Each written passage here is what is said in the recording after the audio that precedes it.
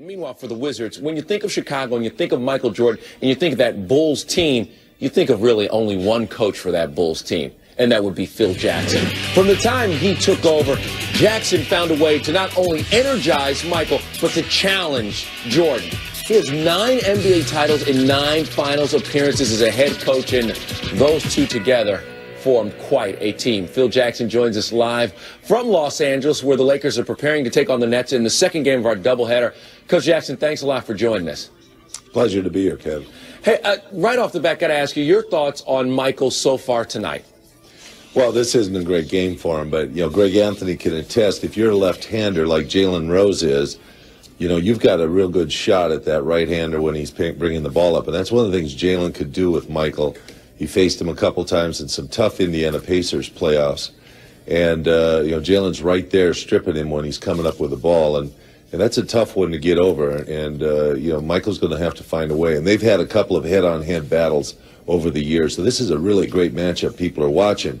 And you don't see a Michael that can break him down on the outside with his speed now, but has to use pivots, back him in a little bit, use his post up moves. And, you know, he's not getting the clear shots that he wants to get. And I, would like to see him come back the second half and have a good uh, performance. All right. So you'd like to see Michael come back in the second half. What about next year? Is Michael really retiring? Do we all really believe that this is it? This is the end? I have to take him for his word. If he says this is going to be the last go around, I, I think it really is going to be that. And, um, you know, he wanted to come back and finish a year. And last year, really basically from the time he played the Lakers here in the first game after the All Star break, he had about three or four more games in which he played pretty well, and then his knee was just tough on him, and he couldn't finish. And he wants to finish a full season. He got himself in great shape this year, and he wants to do that for the club. And and you know he's an owner in this uh, organization. He's really the motivator in this uh, in this Wizards uh, group, and, and they've they've come a long way. They're, they're now a competitive, good basketball team. They were really not there about two years ago before Michael got uh, in, you know, really invested in this ball club. Coach Jackson, Greg Anthony, how you doing? Hey, Greg.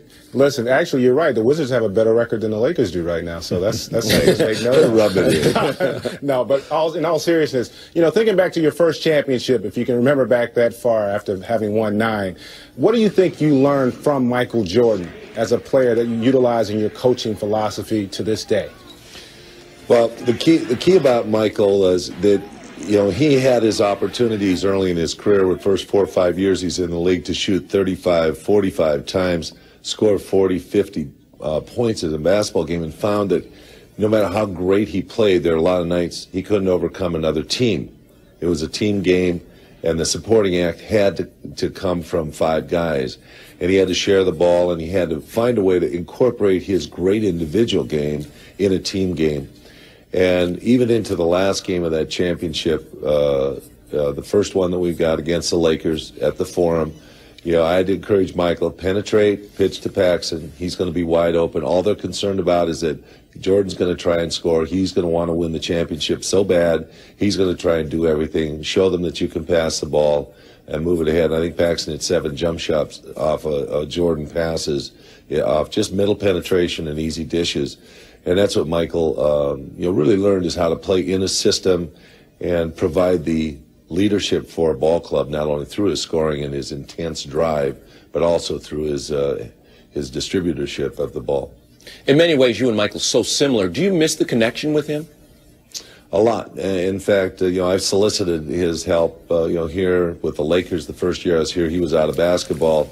You know, just having him come in, talk to Kobe a little bit about playing the guard position in this uh, triangle offense and how it can be frustrating because it, you know, it can be a lot about spacing and there's not a lot of room for individual showmanship or room or scoring, and you know, just allowing the game to kind of be be uh, played at a level where it's it's um, you know more passing and movement than dribble and and scoring. And, and Michael you know, just has a great feel for basketball, great feel for fundamentals of basketball.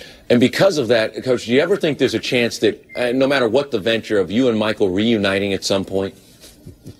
I don't know how we do it. I mean, uh, you know, Doug's a great coach for him to just re-establish the kind of direction and energy and uh, tension that uh, team has to have to get back in a winning form, and and uh, Washington's kind of got that back. And Doug's a good uh, drive kind of guy. He puts a lot of intensity into it. I don't see myself coming back and dealing with Michael as a uh, in a coach ownership relationship. Hello everyone, I spend a lot of time trying to get you guys nice videos, so please subscribe to this page and please subscribe to my second page. The link to my second page is in the description section. Thank you.